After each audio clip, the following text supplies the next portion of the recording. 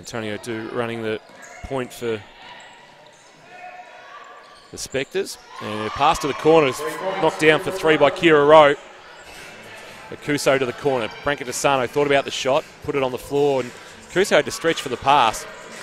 Little jab step and step back, and that's a nice finish from Zatina Akuso. Out of the top flight, as you said, though, you short contract in Malaysia. Antonio do long three, knocks it down over the outstretched arm of Isa Brancatisano. Duck looks to work off a ball and screen, guarded by Shear.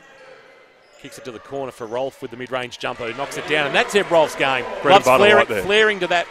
That's the third or fourth occasion we've seen that high on ball extended pick, and it, it's worked each time in getting people an open look. At the other end is Brancatisano with the reply. Shot clock at eight.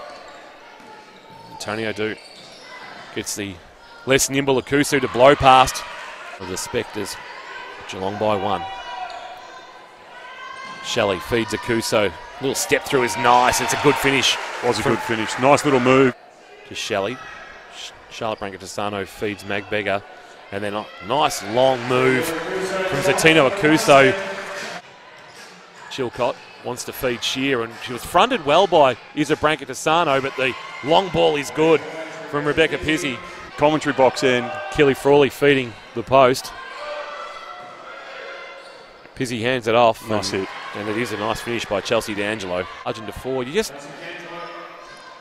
haven't seen the urgency step up yet as Mag Beggar wants to just take it off the dribble. It just parted like the Red Sea. Reserve path impeded by Shear. Shot clock at 10. Little bounce pass. Shelley ran herself into trouble. Somehow got it back to Blitzarves. Is this what gets Sarah going? It does. The big three. Yeah, that was a, a ripping game. Braith continually telling the referee he was fouled, as Braith tended to do. It's really funny. When Braith played for Ballarat, she missed those free throws earlier in the period. Meg Beggar from the corner for three, and that might be the dagger through the heart of Nunawading right there for Rowe. Shot clock at three. Rowe's got to get busy.